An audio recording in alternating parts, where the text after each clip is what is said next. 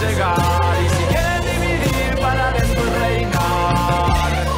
Bienvenidos a la fiesta. Dicen que somos conspirativos, la secta infame de un club sombrío que siempre estamos lejos de los pocos y que la fiesta está solo para unos